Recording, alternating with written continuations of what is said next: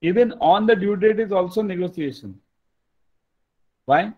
Because I'm taking the risk. If the issuing bank doesn't pay me on the due date, and I'm taking means I'm ready to negotiate, I've confirmed that LC, so I'm paying it even on that date and seek permission from issuing bank out of question. Okay. A credit issued by bank A available with bank B by payment